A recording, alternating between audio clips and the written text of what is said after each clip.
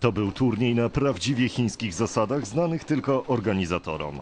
Anna Łukasiak zdobyła brązowy medal podczas Igrzysk Sztuk Walki rozegranych w Pekinie i zaraz po zejściu z podium dowiedziała się o tym, że jest czwarta. Wyprzedziła ją francuska, którą Łukasiak pokonała w pojedynku o trzecie miejsce. Zajęłam czwarte miejsce.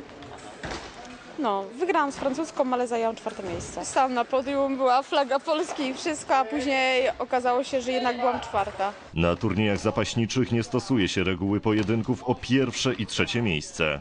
O wszystkim decydują zsumowane punkty. Organizatorzy zdecydowali się na inny wariant, po czym zdanie znowu zmienili. zdecydowali się na rozgrywanie tych walk właśnie o pierwsze i o trzecie miejsce, no to już powinni się tego trzymać.